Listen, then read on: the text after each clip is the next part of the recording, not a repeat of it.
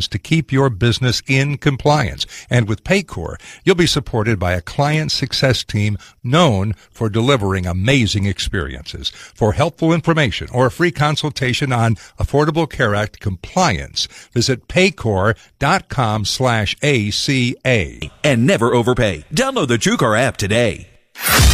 Live from the 700 WLW studios. Driven by Performance Automotive and Performance Lexus. They'll put a smile on your face every customer, every vehicle, every day. Let's look at our traffic. Chuck Ingram knows it all. He honestly does. You're right about that. Headphones just went bye bye. so Sometimes I forget to turn the thing on. That happens to me.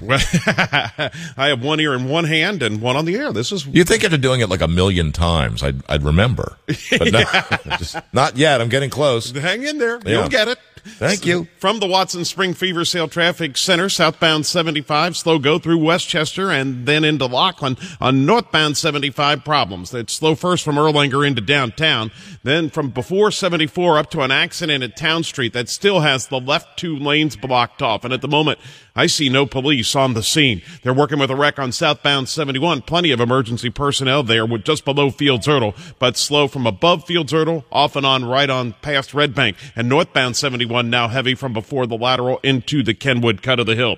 Your next traffic update is in 10 minutes. I'm Chuck Ingram on 700 WLW. All right, opening night is tomorrow night. Tomorrow night, let's give some tickets away. Uh, if you can go and you plan to go, simply be caller 7 this time out at 513 749 3700. 749 3700. And two tickets to opening night are yours. It's just that simple. Redmond and Jones on baseball is on the way. The forecast, though, meteorologist Jeff Creighton, your Fox 19 Weather Now forecast. It's rain and thunderstorms, TFN. High today, 71. Low tonight, 60. High tomorrow, 72. We sit at 56 at 700 WLW. And in the world of showbiz, it's the Bruce Jenner interview many people have been waiting for, and ABC's David Blaustein has that story. Diane Sawyer sat down with Olympic gold medalist and Kardashian stepdad Bruce Jenner for what's described as a far-ranging interview. ABC is calling it Bruce Jenner, The Interview. A two-hour primetime special set to air on Friday, April 24th. While details of the topics discussed have not been announced, Jenner's been in the news for his apparent gender transition, divorce from his wife, and a deadly car accident. Various members of his family, including Jenner's mother, have publicly commented about his transition. David Blaustein, ABC News. And we have our winner just like that.